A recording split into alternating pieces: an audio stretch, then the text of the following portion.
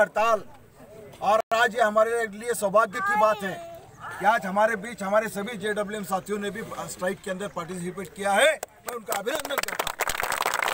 Joint action committee जिंदाबाद। जिंदाबाद जिंदाबाद। ज्वाइंट एक्शन कमेटी जिंदाबाद। जिंदाबाद जिंदाबाद। जेडब्ल्यूएम कैडर जिंदाबाद। जिंदाबाद जिंदाबाद। जेडब्ल्यूएम कैडर जिंदाबाद। जिंदाबाद जिंदाबाद। साथियों अभी कल से हम लोग कामगार स्टाफ और ग्रुप भी ऑफिसर्स हम लोग साथ में रहेंगे। और मंडे के दिन मंडे सोमवारच्या दिवशी सोमवारच्या दिवशी सोमवारच्या दिवशी फक्त तीनच अधिकारी आज जातील। ग्रुप एचे बाकी कोणी जाणार सोमवारी आपण सगळे आपले बायका पोरो सोरो यांना घेऊन येणे मंजूर आणणार त्याच्या नावाने बोंब मारला जाईल. ओके? ठिकाण जगा ठिकाण. कामगार